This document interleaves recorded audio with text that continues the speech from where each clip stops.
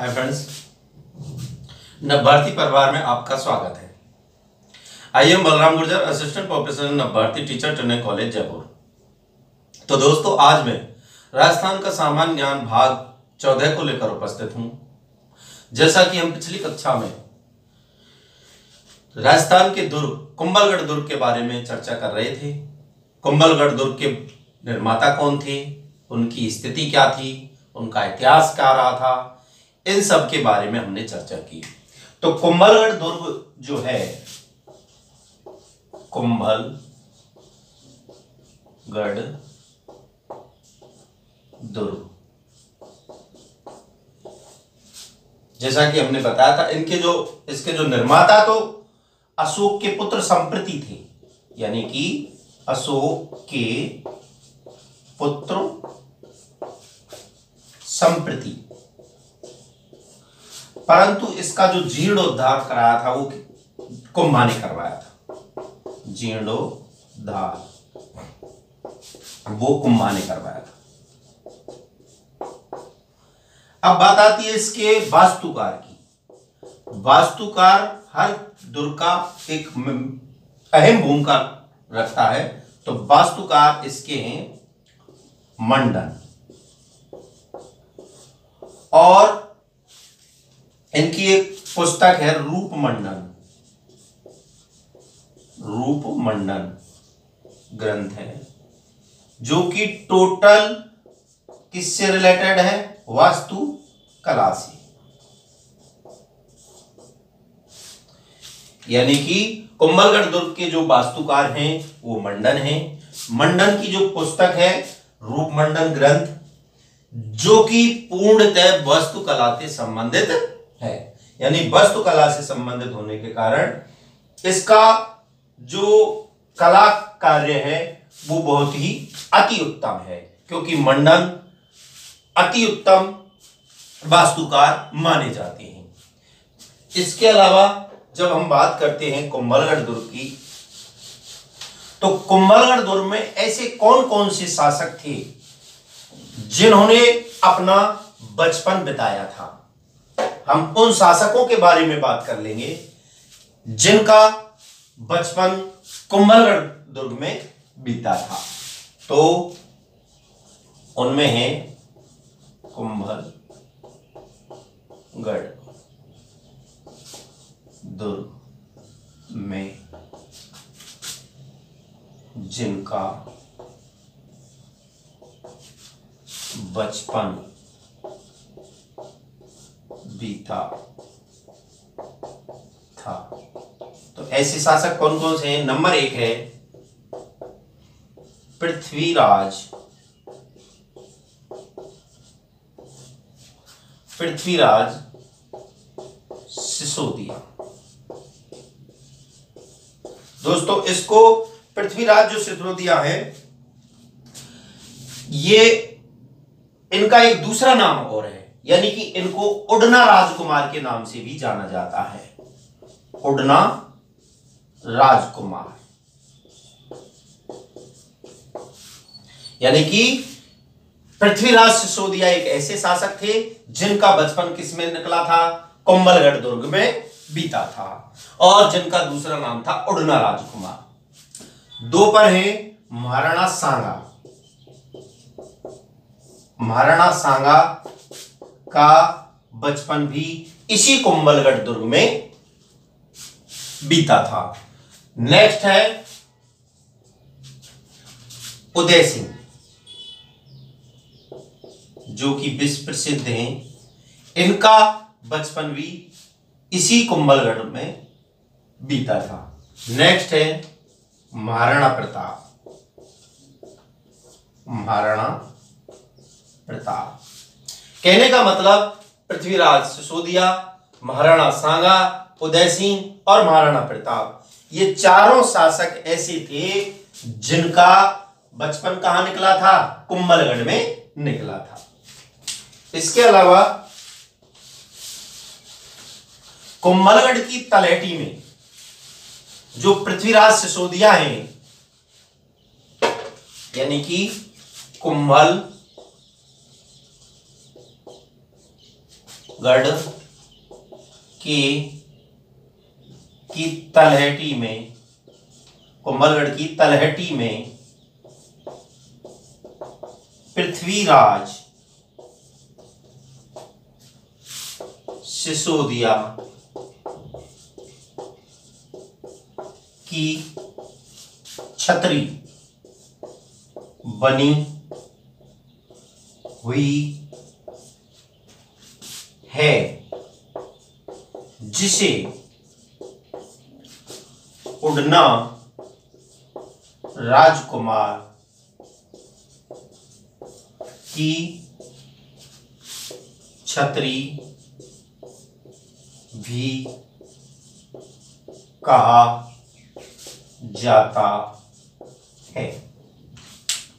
यानी कि कुंभलगढ़ की तलहटी में एक छतरी बनी हुई है, जिसको क्या कहा जाता है? उड़ना राजकुमार की छतरी कहा जाता है। नेक्स्ट है।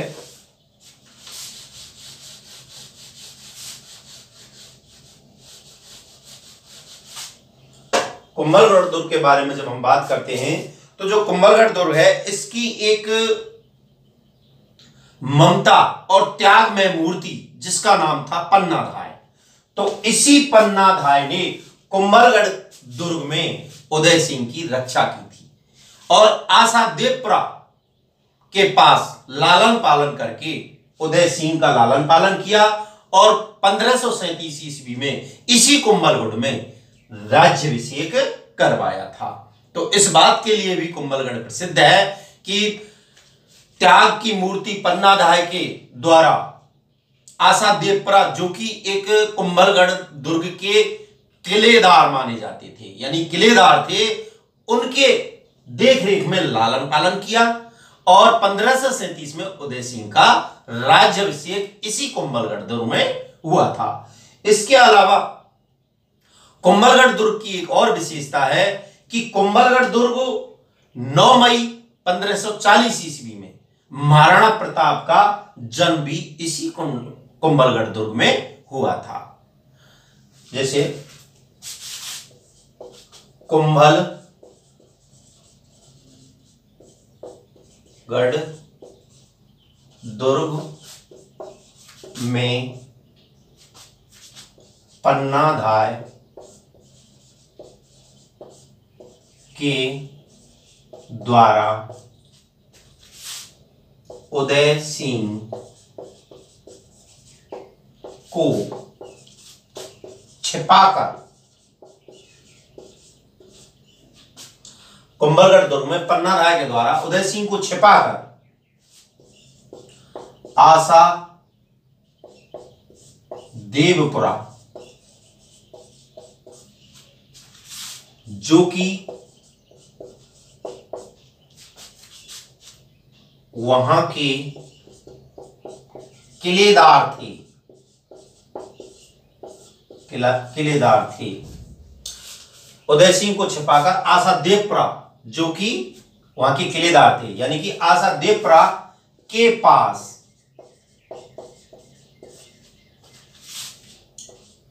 लालन, पालन करवाया गया था। यानी कि आशा देवप्रा के यहाँ लालन पालन करवाया था, किसका? उदय सिंह। और कुंभलगढ़ दुर्ग के किलेदार थे, जिनका नाम था आशा देवपुरा। और इस, इसके अलावा, यानी कि जैसे कुंभलगढ़ दुर्ग में जो लालन पालन किया था, वो किन ने किया था? आशा देवपुरा लेकिन इसी कार्यकाल में क्या हुआ था कि उदय सिंह लालन पालन करवाया गया था, और यहीं पर पंद्रह ईस्वी में उदय सिंह का राज्यभिषेक राज्यभिषेक हुआ था। कहने का मतलब कुंभलगढ़ दुर्ग के शासक बन गए थे उदय सिंह उनका राज्यभिषेक हुआ था। ये सब किसमें हुआ था? कुंभलगढ़ दुर्ग में हुआ था। नेक्स्ट है। कुंभलगढ़ के बारे में और कहा जाता है कि जो कुंभलगढ़ दुर्ग है, उसी में महाराणा प्रताप का जन्म हुआ था। तो यानी कि 9 मई 1540 ईस्वी में कुंभल गढ़, दुर्ग में महाराणा प्रताप का जन्म हुआ था। और इसी कुंभलगढ़ दुर्ग में महाराणा प्रताप का जन्म हुआ था और वो जहाँ जन्म हुआ था विशेषकर वो स्थान था, यानी कि आपको पहले मैंने बताया था कि जो कुंभलगढ़ दुर्ग है, कुंभलगढ़ दुर्ग और कटारगढ़ दुर्ग, दोनों ही दुर्ग, यानी कि कटारगढ़ दुर्ग उसका एक भाग है, एक अंश है। तो 9 मई पंद्रह सौ चालीस ईस्वी में कुंभलगढ़ दुर्ग में महाराणा प्रताप का जन्म हुआ और विशेषकर जो कुंभ, वो स्थान था, वो था यानी महाराणा प्रताप जन्म हुआ जहाँ प्रताप। जहाँ महाराणा प्रताप का जन्म हुआ उस स्थान का नाम बादल महल। बादल महल। उस स्थान का नाम था बादल महल कटारगढ़। कटारगढ़। कहने का मतलब बादल महल कटारगढ़ में का किनका जन्म हुआ था? महाराणा प्रताप का जन्म हुआ था, जो कि कहाँ स्थित है? कुंभलगढ़ में ही स्थित है, जिसको हम पहले बता चुके हैं आपको, क्योंकि कटारगढ़ जो दुर्ग है, वो कुंभलगढ़ दुर्ग का ही लघु दुर्ग है। और उस बादल महल में, उस बादल महल कटारगढ़ में महाराणा प्रताप का जन्म हुआ था। इसी के उत्तर दिशा में, यानी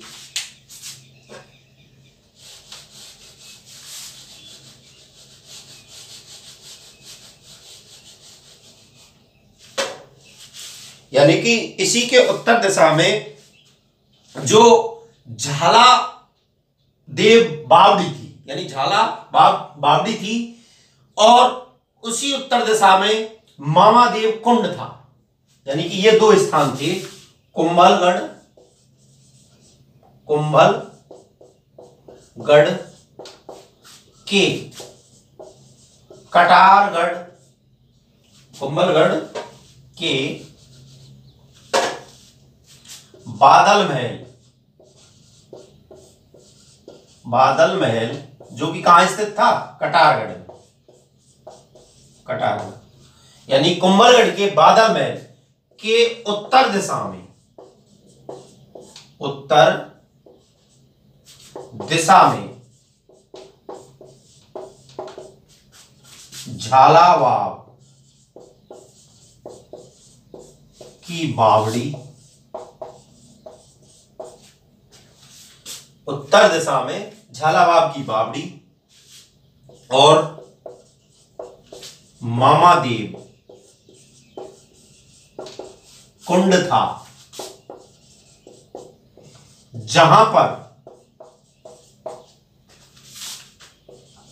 कुंभा के पुत्र, जहाँ पर कुंभा के पुत्र उदा ने उदा ने कुंभा की हत्या की थी। कहने का मतलब जो कुंभलगढ़ का बादल महल था, जो कटारगढ़ में स्थित था, उसके उत्तर दिशा में झालाबाब की बावड़ी और मामा देव कुंड था, जहाँ पर कुंभा के पुत्र उदा ने कुंभा की हत्या की थी। यह भी स्थान अपने आप में बहुत ही प्रसिद्ध है। इसके बाद आता है कुंभलगढ़ दुर्ग के अंतर्गत दर्शनीय स्थल। यानी कि जैसे चित्तौड़गढ़ दुर्ग में दर्शनीय स्थल थे, ऐसे ही क्या है? कुंभलगढ़ दुर्ग में भी दर्शनीय स्थल हैं, जो वर्तमान में लोग दर्शन करके लाभ उठाते हैं। अब कुंभलगढ़ के दर्शनीय स्थल की जब हम बात करते हैं, दर्शनीय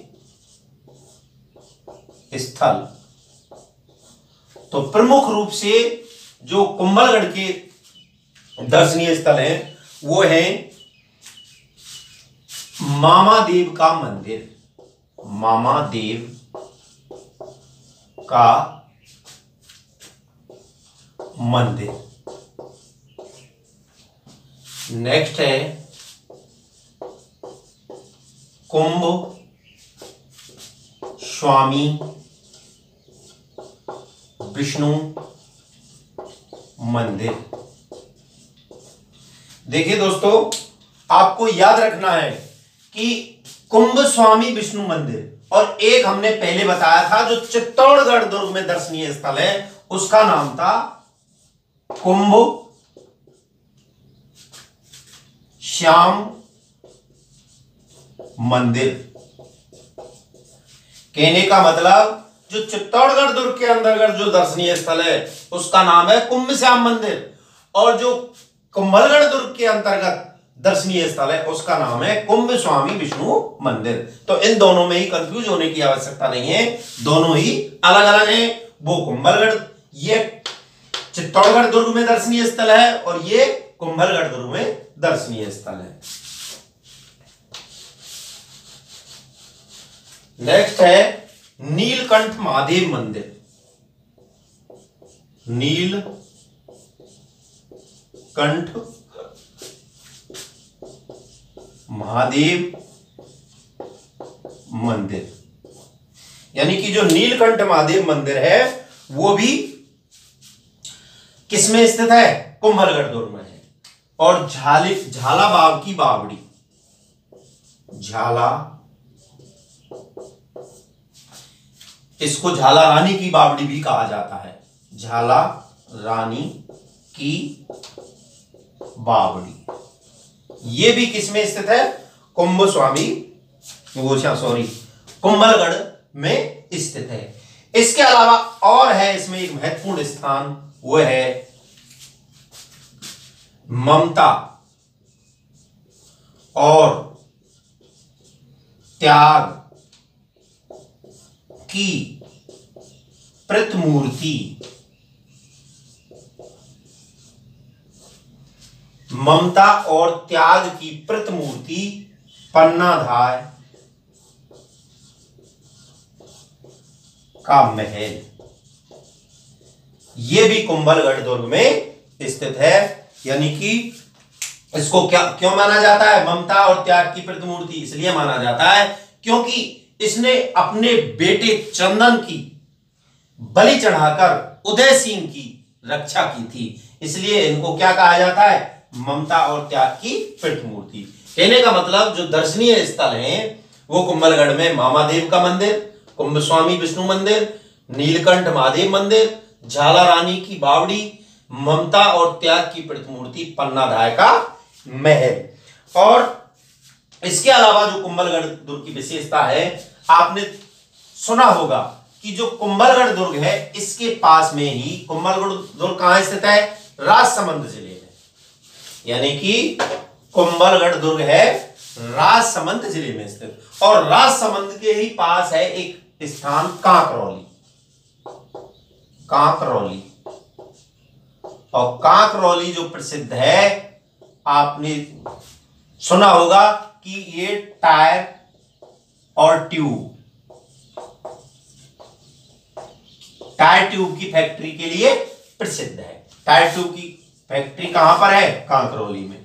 इसके अलावा कांकरौली में एक दुर्ग है तोहन दुर्ग जिसका नाम है तोहन दुर्ग तो कहने का मतलब तोहन, दुर्ग, कांकरौली कांकरौली राजसमंद।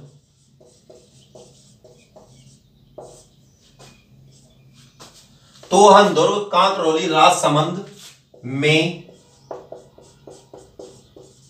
स्थित है। कहाँ स्थित है राजसमंद में स्थित है। इसकी ये जो विशेषता है, वो क्या है? इसकी मुख्य विशेषता है कि जो तोहन दुर्ग कांकरौली है, इसको 2013 में यूनेस्को द्वारा यूनेस्को द्वारा विश्व धरोहर की श्रेणी में रखा गया था। यानी विश्व धरोहर घोषित किया गया था। अब ये दोस्तों याद रखना है, कोई ज़रूरी नहीं कि एक एक ही ये 2013 में काकरौली का तोहन दुर्ग ही रखा हो, और दुर्गों का भी नाम आ सकता है। लेकिन यह निश्चित है कि 2013 में यूनेस्को द्वारा विश्व धरोहर घोषित किया गया था। किसको? तोहन दुर्ग को। और 2018 में भारत सरकार द्वारा इस पर पाँच रुपये का डाक टिकट डाक टिकट जारी किया गया। यानी, इस तोहन दुर्ग की यह विशेषता है कि इसमें तोहन दुर्ग कांकरौली राजसमंद में स्थित है और 2013 में यूनेस्को द्वारा विश्व धरोहर घोषित किया गया था और 2018 में भारत सरकार द्वारा इस पर पाँच रुपए का डाक टिकट जारी किया गया था। तो यह था दोस्तों कुंभलगढ़ के बारे में। और कुंभलगढ़ के अंतर्गत जो कटारगढ़ है, उसके बारे में भी हमने तुलनात्मक अध्ययन किया। आज के लिए बस इतना ही, फिर मिलते हैं नेक्स्ट क्लास में। धन्यवाद।